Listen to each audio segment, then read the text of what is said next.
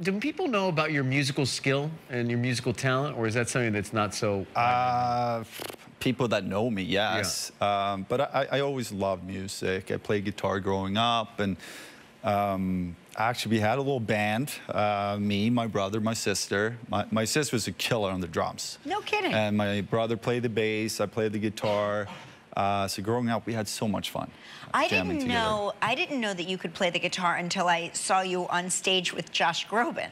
Oh, okay. And that was a pleasant surprise. Yeah, you know, it's it's funny. Uh, you play hockey in front of 18,000 for what 15 years here in New York, and of course you're nervous. But that's a different type of nervous when you go out and Radio City Hall with Josh and, and, you play. You don't want to mess up, that's for sure. Did you tell Josh that he would be able to play in an NHL game soon? Well, is that the deal that, that you made? That invite is obviously coming uh, yeah, for next come on, year. I feel like he shouldn't accept that. Yeah.